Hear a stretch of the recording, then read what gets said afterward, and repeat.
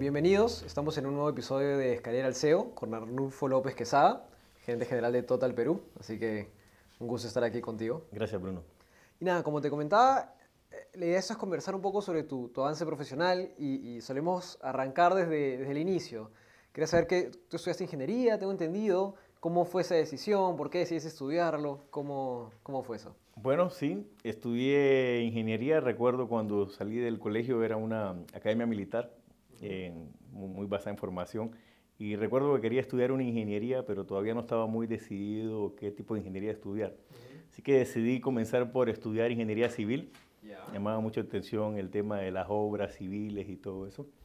Eh, pero después, en el paso del tiempo, ya casi para terminar mi carrera, eh, el tema del management y el tema comercial marcó mucho mi vida, eh, y lo cual me hizo hacer un giro grande para cambiar de una ingeniería civil, que es más de temas eh, de infraestructura, a estudiar una ingeniería industrial, que es una ingeniería de proceso, que es una ingeniería de claro. management y otras cosas.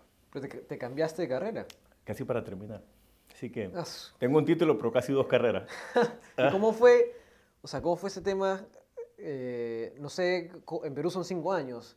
En tu caso, ¿cómo En mi país, fue? en Honduras, también son cinco años para acá ingeniería, pero eh, cuando tú vas a terminar una carrera tienes muchas equivalencias. Yeah. Entonces, cuando te cambia, cierto, pierdes algunas clases que son claro. de especialidades, uh -huh. pero hay muchas eh, clases de equivalencias que tú puedes uh, okay. pasar de una ingeniería a otra ingeniería. ¿Y cuánto tiempo en total estudiaste al final? Eh, terminé estudiando una labor de seis años y medio por ah, última decisión. No, no, estuvo tan mal entonces. Un par de años claro, más. Un par de años sí. más. Y no hubo tema con en Perú, bueno, es una sociedad un poco eh, eh, conservadora. Suele, si, alguien, si yo le hubiese dicho a mi papá, oye, en el quinto año voy a cambiar de carrera, me, me mata. No sé cómo fue en, el, en tu bueno, caso. Eh, no, bueno, con mis padres era un poco diferente porque yo para esa época ya trabajaba y estudiaba, así que era muy independiente, entonces ah, okay. era más como que ellos solo miraban lo que hacía, okay. porque yo ya tenía una experiencia laboral, uh -huh. Eh, estudiaba por las mañanas, trabajaba por las noches, y bueno, era más que mi papá. Sí, yo creo que él pensaba que estaba un poco loco. Decía, bueno, no sé en qué va a terminar, pero, pero bueno, al final menos... terminé siendo un ingeniero claro. industrial. No, no, fue un cambio tan, tan radical, ¿no? Tampoco, ¿no? No, no realmente fue, creo que una buena decisión. Uh -huh. eh, la ingeniería industrial captó mi atención uh -huh. en todas las áreas en que se aplica, eh, más en el tema del management, administración de procesos uh -huh. eh, y mejora continua. Eh, así que la pude disfrutar muy bien y poder seguir desarrollando lo que había aprendido en las aulas de clase en mis trabajos posteriores. Claro. Y ahora, ¿y en ese, en ese BOA en qué trabajabas? En ese momento yo trabajaba para Coca-Cola. Yo yeah. recuerdo que era muy chico. Eh, yo trabajé para Coca-Cola cinco años. Uh -huh. De 19 años, un joven de 19 años a, a mis 23 años de carrera trabajé para Coca-Cola. Uh -huh. Y yo creo que eso fue lo que marcó el tema de abandonar un poco el tema de la obra civil e infraestructura, claro. porque trabajando en una compañía de marketing, comercialización, Uh -huh. Todos esos aspectos fue. ¿Y, y qué, qué, qué, hacías en Coca-Cola? En Coca-Cola miraba todo lo que era el trade market, eh, todo lo que tenía que ver con merchandising, yeah. todo lo que tenía que ver con mercadeo y todo okay. lo demás para el país. Claro, es un, un tema bien comercial, ¿no? Sí, era o sea, un tema, era... Bien distinto ingeniería estudiaba civil. algo y estudiaba algo y trabajaba otra cosa, así claro. que no se congeniaba, ¿no? Había claro, un tema ¿no? que congeniaba Súper su, distinto, ¿no? Sí. Coca-Cola es súper fuerte en marketing. Sí, es una compañía muy reconocida a nivel global, en el pasado era casi líder, hoy han salido muchas marcas, de la competencia que es Pepsi-Cola ha ganado mucho claro. terreno, pero en aquel tiempo era dominante y hacía muchas estrategias. Uh -huh. Aparte Coca-Cola tiene otras marcas de bebidas, no solo las colas, y y nos permitía podernos desarrollar a jóvenes eh, como lo era aquella época, toda la aspiración y ambición que teníamos por aprender y, y aportar. Bueno. Y ahora, y terminando la universidad, ¿cuál fue tu primer trabajo ya oficial de, de graduado? Yo seguía trabajando para Coca-Cola. Uh -huh. eh, sin embargo, yo vengo de una familia eh, de digamos, de gente que ha trabajado en la industria del petróleo o energía. Uh -huh. Mi padre trabajó 14 años para ExxonMobil y, y, bueno, yo nunca me imaginé que yo iba a terminar trabajando en una compañía de petróleo o energía. Uh -huh. Y recuerdo que estaba en un momento cuando recibí una llamada que si quería trabajar en una compañía de petróleo, yo pregunté cuál era, y me dijeron, bueno, no voy a decir el nombre de la compañía porque ahora ya, no, ya, no trabajo en ella, ya no trabajo en ella y no voy a hacer marketing ¿Ya? para ellos Pero yo dije, está bien, y tomé la posición, era para trabajar en el área comercial de ellos, en la división de combustibles, lubricantes y asfalto. Eh, y cuando menos acordé, abrí, cerré los ojos y me pasaron 15 años. 15 años. Ya. ¿Shell? No lo sé. te, te, busca, te, te, gusta jugar a, LinkedIn. la- a la- a las adiv- adivinanzas, ¿no? Te he buscado en Sí, LinkedIn antes y era- dije, por ahí. por Ah, ahí, bueno. eh, está- ya, ay, puede correr, pero no me puedo ocultar. Está bien. está bien, está bien. Igual es. Sí, es- es, es es sí, sí, Trabajé 15 pero- años. No, no sabía cómo lo iba a tomar mi padre. Recuerdo cuando lo, lo comuniqué a él, eh, él me quedó viendo y me dijo, eh, tienes que tener cuidado y me dio ciertos tips ¿Así? importantes. En ese mundo corporativo hay que hacer algunas cosas, así que... ¿Así? ¿Cómo, Bueno, cómo fue- qué tips? ¿Qué, qué recomendaciones? Eh, él venía de, de este tipo de compañías y él me hablaba mucho del tema social y el tema empresarial y me dio sí algunos consejos eh, que cuando uno es muy joven, a la edad de 23 años, todavía no entiende y tiene que manejarlo de una manera más política. ya. Así que él me, me pudo dar ese buen consejo de poder, tú sabes, una persona joven en este tipo de compañía, eh, con mucha actividad social, puede tomar caminos diferentes y creo que eso era lo que tal vez él más... ya. O sea, que, que- orientaba. por ejemplo, un- una recomendación que te dio, ¿cuál fue? Eh, me dijo, lleva la vida con calma, esas compañías son muy grandes y a veces tú puedes correr y tropezar. Así que da pasos sólidos y no pasos eh, tan suaves. Claro, porque es el, el tema siempre. Varios, vari- varios gerentes generales me han dicho, ¿no? El joven es muy vehemente y, y- y suele querer hacer todo. Y a veces con una, cultura corporativa Claro. hay, un, hay un poco de choque ahí, ¿no? Sí, es- más cuando quieres ser un poco precoz y quieres madurar más rápido de lo que te toca madurar. Ya. Como el caso de algunas personas. Como el caso tuyo. Puede ser. Cuando recuerdo mi juventud, siempre recuerdo lo rápido que quería ir y ahora que ha pasado el tiempo, digo, bueno, solo el tiempo te enseña que realmente tienes que esperar. Mm, Me, me sentido identificado. Ok. Pero, pero, ok, ¿y, y por, por qué nunca te imaginaste en una empresa de, de esa industria, no? Si tu papá había estado tanto La, tiempo. la verdad ahí. no creo en las herencias ni creo Ya. en la sucesión familiar, eh, más que en los reinados tal vez, y no vengo de ninguno. Así que siempre creo que las personas hacen su propio destino y bueno, nunca me imaginé trabajar en la misma industria que mi padre trabaja Ujú. o que trabajaba. Claro. Eh, y no sé, nunca lo vi, nunca lo vi venir. Si me pregunta, ¿lo viste venir alguna vez o tuviste el sueño de trabajar en la empresa que trabajaba tu padre? Yo te podría decir no. Eh, siempre pensé que iba a trabajar en otras cosas como las que empecé a trabajar, como cosas diferentes, Claro, como Coca-Cola, eh, o como otras industrias grandes, pero nunca, nunca me imaginé. Aparte, esta, esta industria de petróleo y energía son círculos muy cerrados. Eh, no son muy abiertas al- al ex- a la exterioridad del mundo. O sea, son industrias donde se hacen especializaciones y por lo general terminan Claro. trabajando empresas, personas, perdón, del mismo círculo. Ah, mira. Entonces, pasan de uno a otro, más ahora que antes. Ah, sí. No, claro, no hay mucho, mucho outsider, digamos. ¿no? Exactamente. Como, sí hay en consumo masivo, en retail. Eh, exactamente. Tú un poco, eh, vas a encontrar gente que te va a decir, yo trabajé en tal empresa, yo trabajé en tal empresa, Ah, yo trabajé en tal empresa. Mira, qué bueno. Pero- Eh, ahora, ¿y cómo, cómo, o sea, cómo eras de, de- de chico? Eh, me comentas pues que, te- que había mucha vehemencia, que querías crecer rápido. Bueno, de chico era inquieto. Ya. Creo que eh, una de las cosas por las cuales estoy en formación militar era porque era muy inquieto de chico y la disciplina militar me ayudó bastante. Y después de adolescente fui más inquieto.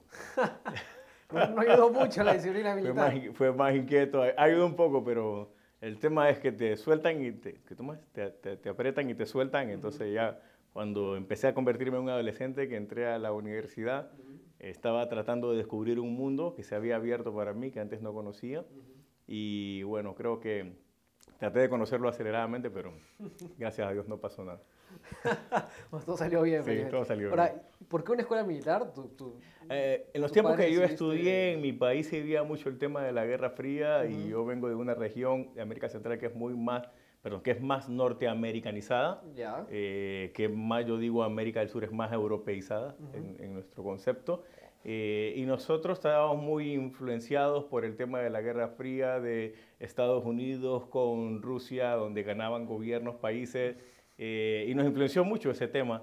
Así que mi papá, yo llegué un día y dije, yo quiero estar en una escuela militar, y él me dijo, bueno, si tú quieres, eh, Claro. vas a la escuela militar, y fue por esa decisión. Fue una decisión propia realmente, más que una decisión Raro, ¿no? familiar.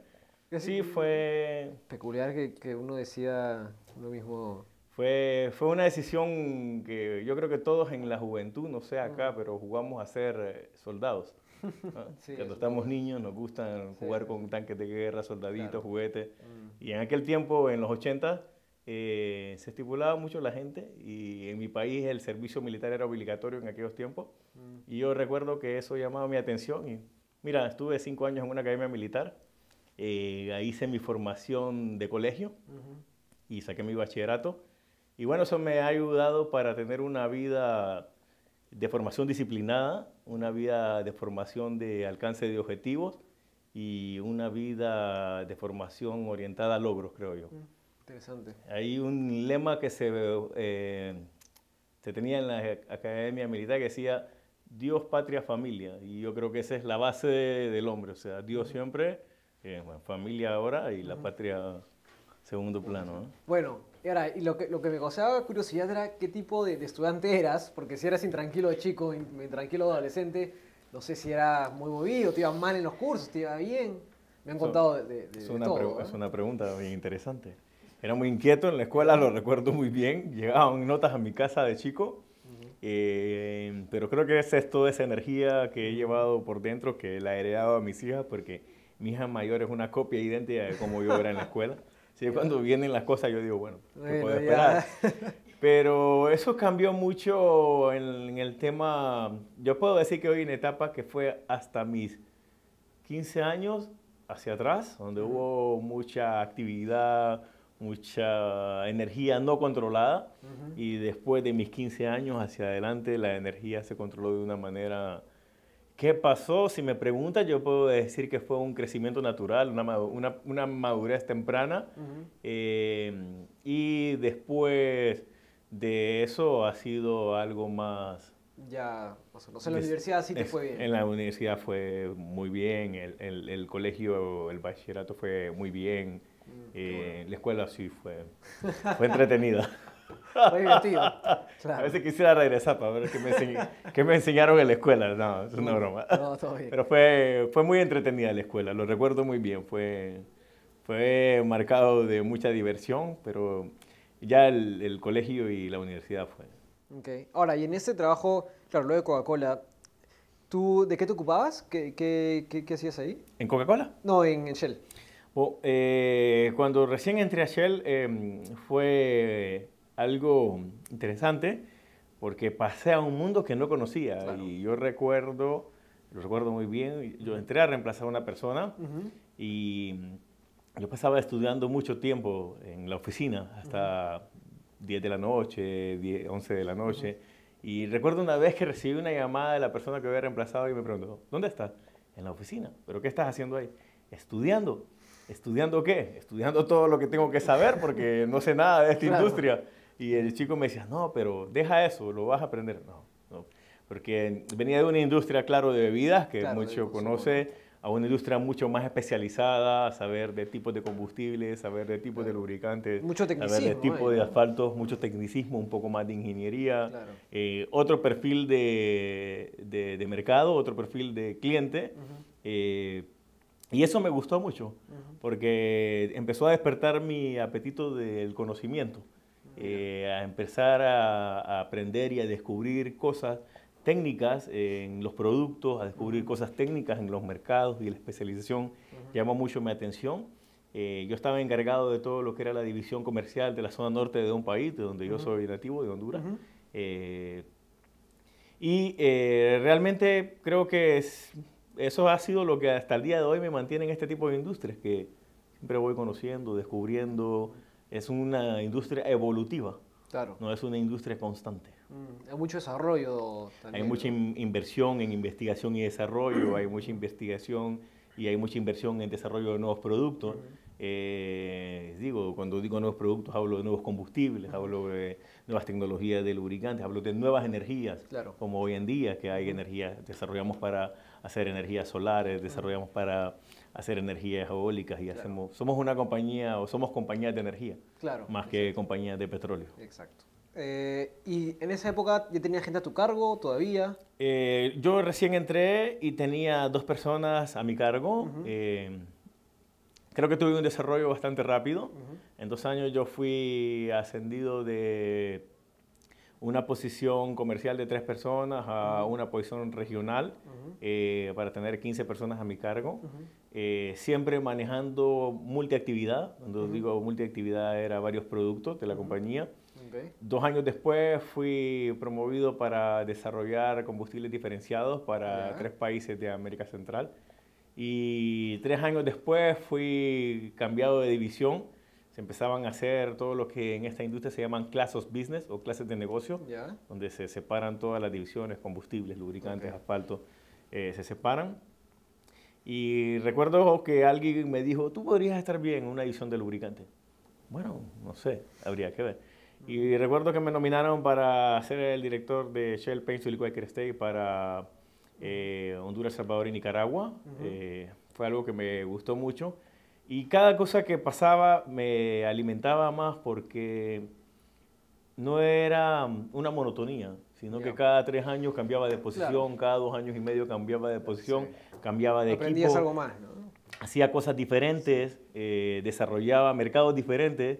recuerdo haber liderado muchos proyectos, proyectos algunos críticos, otros sensibles, eh, otros que no gustaban a muchas personas por lo que implicaba hacer, eh, pero bueno, todo ha salido bien eh, hasta el último día que estuvimos en la compañía.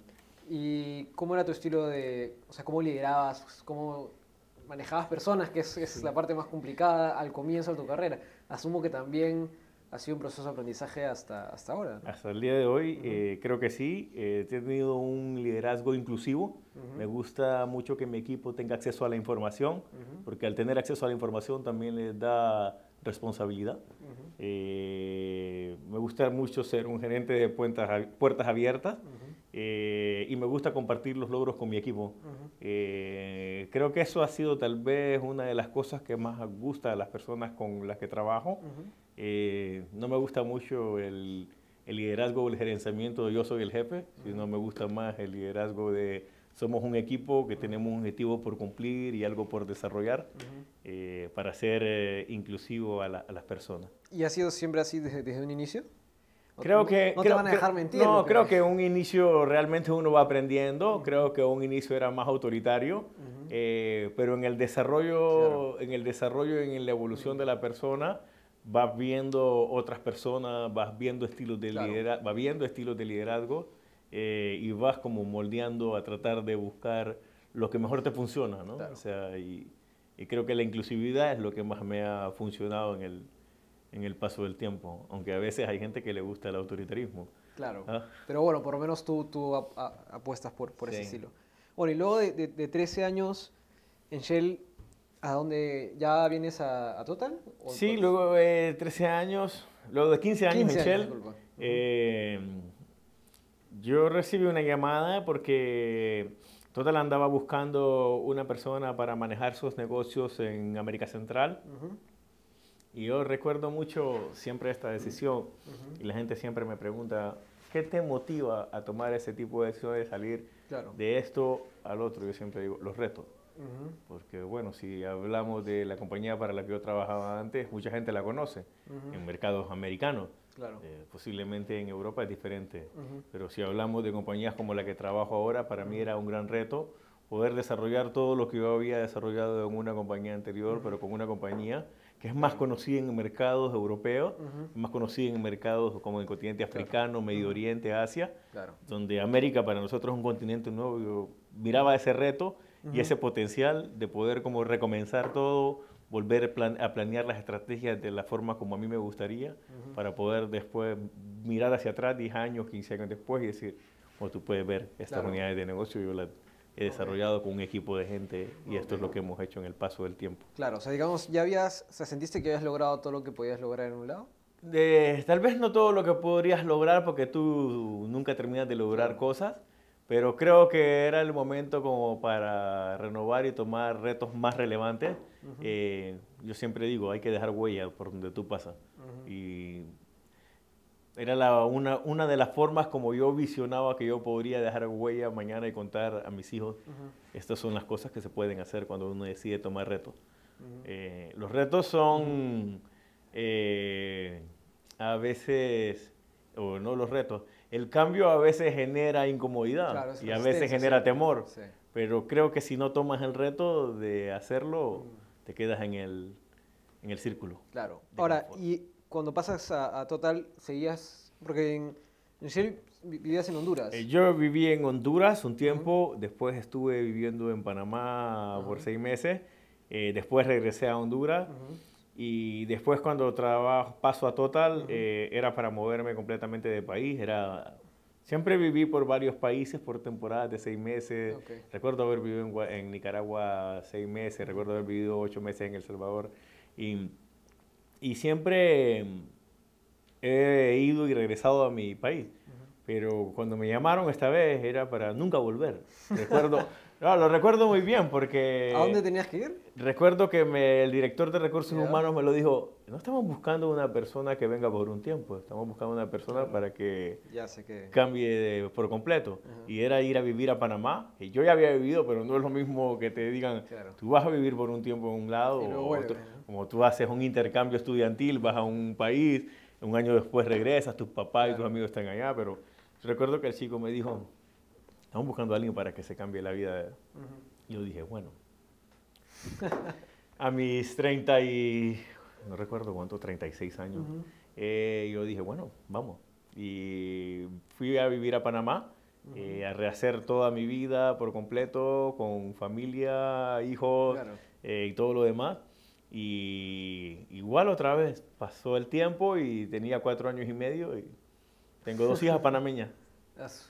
Está bien. Porque eso te iba a preguntar, es porque es el cambio ya lo hiciste con familia, ya, ya, ya, estabas casado, ¿ya tenías hijas o, o ya nacieron en Panamá? Tenía, tenía, tengo dos hijas mayores eh, y tengo dos hijas que nacieron en Panamá. Tengo dos hijas que nacieron en Honduras, en Tegucigalpa, y tengo dos hijas menores que nacieron en Panamá en mi asignación anterior.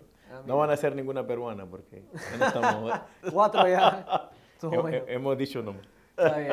Pero ¿y cómo fue ese cambio? ¿Fue complicado? Bueno, es, no es la, la, verdad que, la, verdad que la expatriación es un cambio interesante cuando es la primera vez.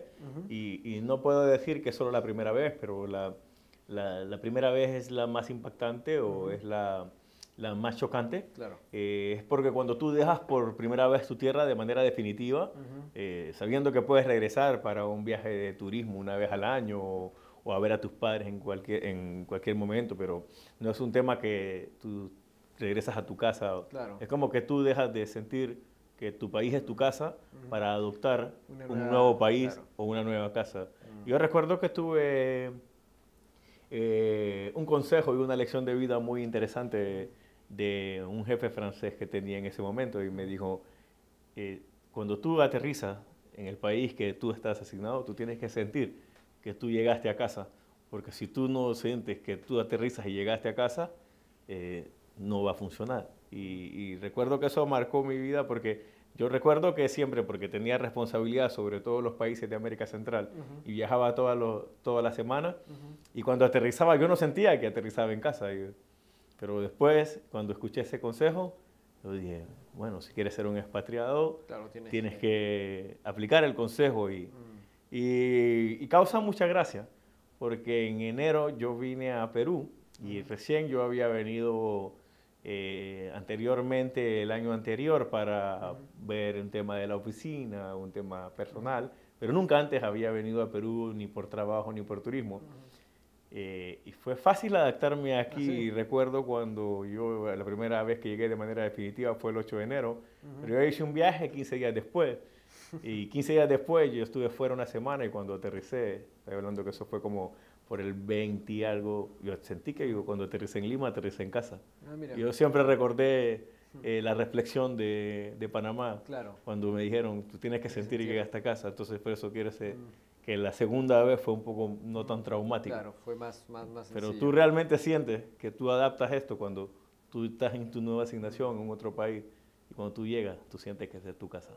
¿Por cuánto tiempo? Tú no sabes cuánto va a ser.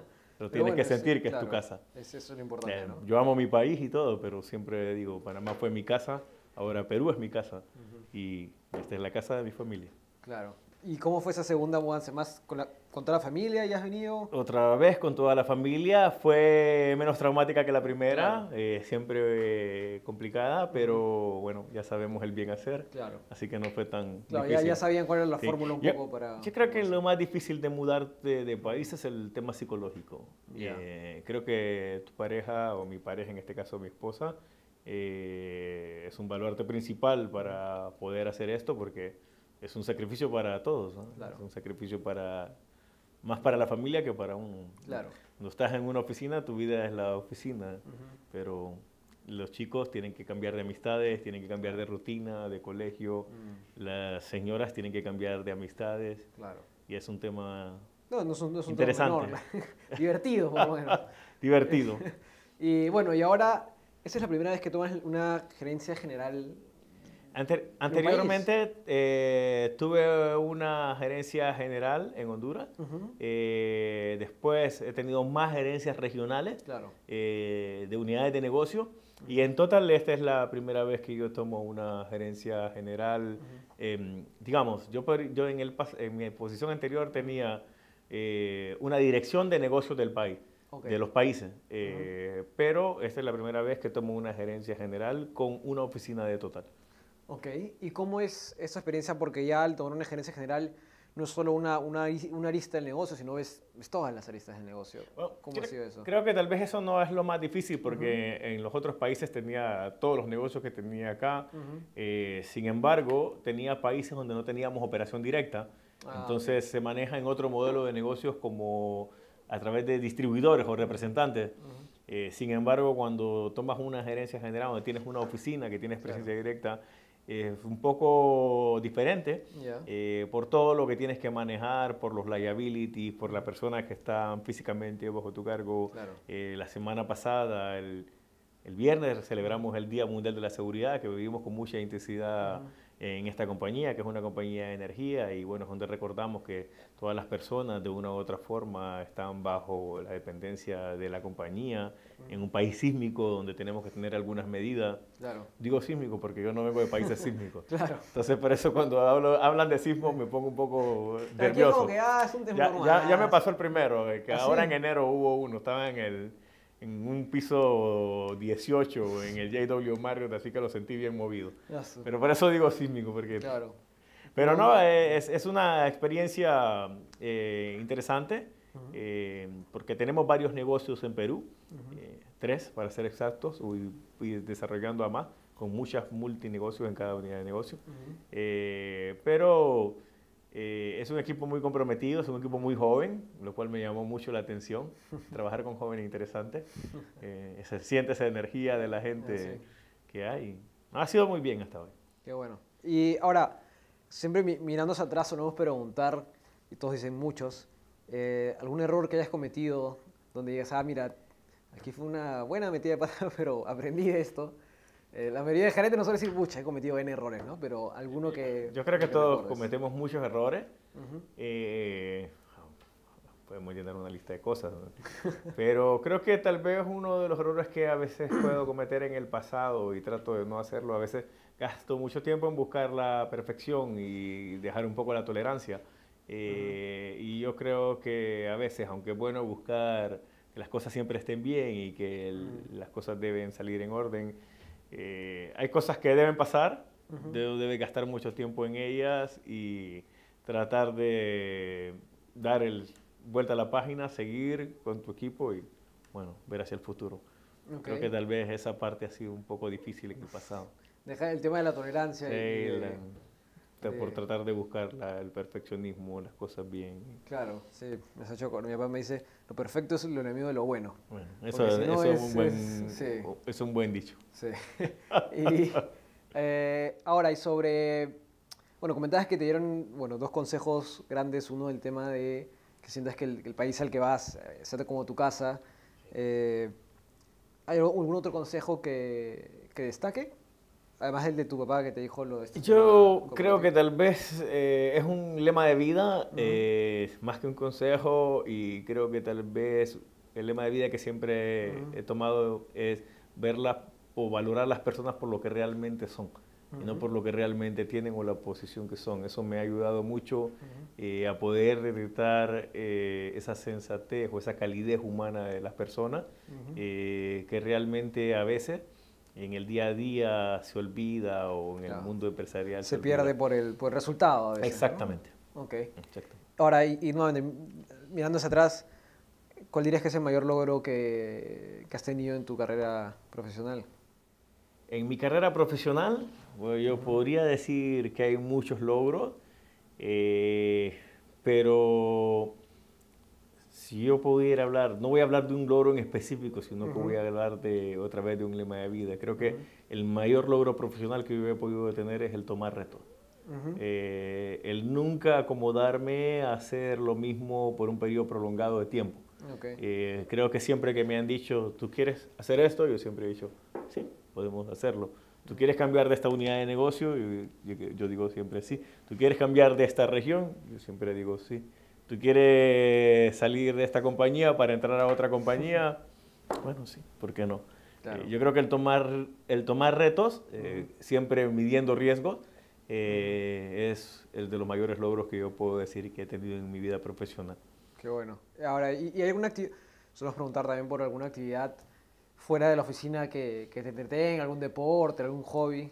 Sí, me gusta mucho el ejercicio. Por lo general, eh, hice mucho ejercicio cuando era joven, gimnasio, pero lo dejé por mucho tiempo y estaba hablando que desde hace ocho años eh, me interesé mucho por el running o por correr. Claro, por correr. Eh, lastimosamente fui detectado con un problema de columna y lo cual me obligó a nadar eh, por recomendación médica y después cuando estaba nadando empecé a dejar los, los deportes de impacto y me interesé por la bicicleta, por el ciclismo y empecé con el tema del triatlón. Ah, Entonces todavía no he hecho uno olímpico, he hecho un sprint en Panamá, eh, en Portobelo, eh, pero me gusta la disciplina del tri, porque es una tridisciplina eh, que hace exigencias sobre el cuerpo y que también hace mucha disciplina sobre el ser humano.